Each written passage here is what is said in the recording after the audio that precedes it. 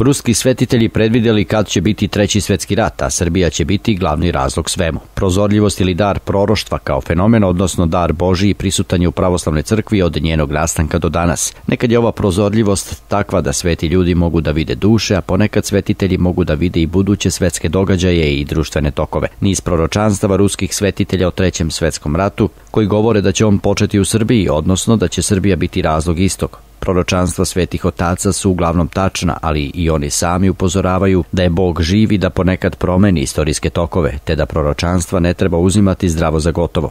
U svakom slučaju vredi pročitati. Naime, ruski starac Vladislav Šumov je prorekao da će Rusija zaratiti sa Nemačkom, ali i sa Kinom. Rat sa Nemačkom će početi opet preko Srbije, govorio je starac Vladislav. On je također rekao da će sve biti u ognju, veliki ruski gradovi također, ali da Rusija neće stradati u ognju. On je rekao i da će Belorusija teško stradati, ali da će se posle toga ujediniti sa Rusijom. Rekao je da će i Turci ratovati sa Grčkom, te da će Rusija pomagati Grčkoj. Sijarhimandrit Stefan Atonski je govorio govorio da će Amerika propasti. Ta propast će biti ogromna, sva Amerika će se urušiti a Amerikanci će bežati u Rusiju i u Srbiju. Starac Maftej Vresvenski je u svojim proročanstvima govorio da će razlog trećeg svetskog rata biti tako poznat, odnosno već viđena, to je Srbija. Milijarde ljudi će stradati u ratu novog svetskog poretka protiv Rusije, govorio je ovaj starac.